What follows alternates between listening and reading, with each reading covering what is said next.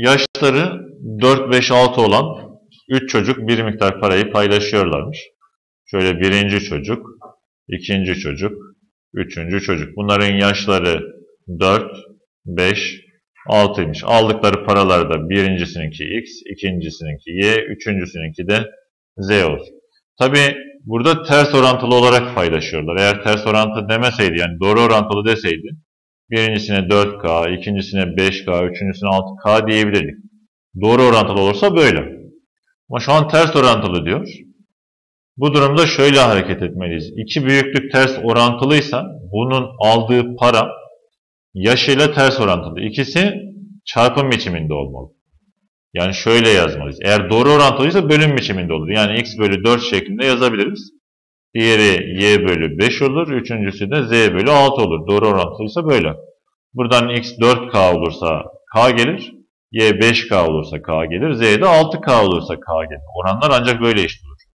Eğer ters orantılı diyorsa sayılar bunların yanına yazılacak. Ters orantılı büyüklükler çarpım biçiminde olur. Yani 4x eşit olacak 5y'ye, o da eşit olacak 6z'ye. Biz eşittir şuraya k diyebiliriz ama bu şöyle bir sorun çıkarır. X'i bulursak x k bölü 4 olur. y'yi bulursak y k bölü 5 olur. Bunlar arasında işlem yapmak zorundayız. Kesir oldukları için. Bu nedenle biz öyle bir şey vereceğiz ki k yerine istediğimiz ifadeyi verebiliriz. Zaten değişken isimlendiriyoruz. İster k deriz, ister 3k deriz. Şimdi 4'ün böldüğü bir sayı olacak. 5'in böldüğü bir sayı olacak. Bir de z'yi de yazarsak k bölü 6 gibi. 6 tarafından da bölünen bir sayı olacak. Yani bunların hepsinin katı olan bir sayı. En uygunu o kekleri. 4'ün, 5'in ve 6'nın o keki olan bir sayı vereceğiz. O keki olan sayıyı vereceğiz. 60, 120 verebiliriz. Sadece büyük sayılarla uğraşmış oluruz.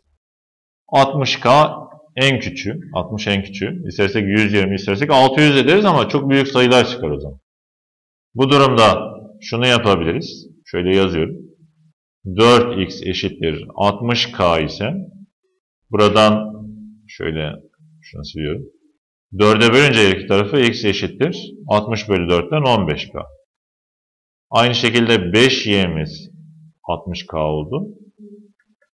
5'e bölünce y eşittir 12k. Sonra 6z eşittir 60k oldu. 6'ya bölünce z eşittir 10k olur. Artık bunları bulduk. Bunların toplamı ne kadar olacak? Evet şöyle demiş. Yok onu sormamış. Cevabı Ceyhan evet. Şimdi şöyle demiş. 5 yaşındaki çocuk 6 yaşındaki çocuktan 2 lira fazla almış. Yani şu ikisi. Tabi bunu y'yi biz 12k bulmuştuk. z'yi de 10k bulmuştuk.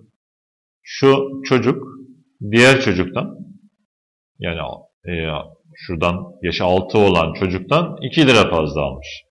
Yani 12k eşittir 10k artı 2 olacak. Bu 2 lira daha fazla almış. Şöyle sola doğru atarsak 2k eşittir 2 yani k sayısı eşittir 1 olacak. Bizden istenene gelelim. 4 yaşındaki çocuk kaç lira almıştır diye soruyor. 4 yaşındaki çocuk x lira almıştır. Bizim x'imiz 15k idi. k yerine 1 yazarsak 15 çarpı 1'den o çocuk da 15 lira almış.